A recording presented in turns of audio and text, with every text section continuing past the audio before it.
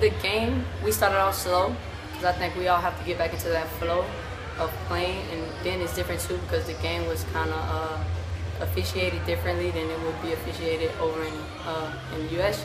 But I think overall we adjusted and we played well. We won.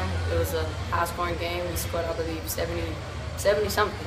So I think we got it together in the second half and we played well. I think the biggest difference playing international players is their physicality. They're very physical because uh, in the U.S. we get that one touch foul, but over here they can kind of they can bump you, they can use their forearm, they can do all that. So I think uh, just the physicality was different, um, and they just have a different type of swag. I mean, I think we kind of used to that because we have so many foreign players, but I think just the whole team being foreign and just as as a whole, I think that was something we had to adjust to. To, to get out and just play somebody else after 10 practices.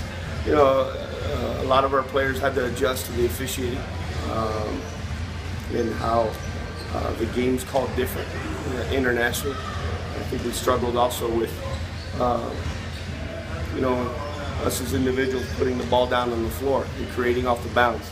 And we had we had we had some travel calls that would be travel calls in the U.S. But you know, I like that we were able to get up and down the floor and share the ball and and, and, and play everybody.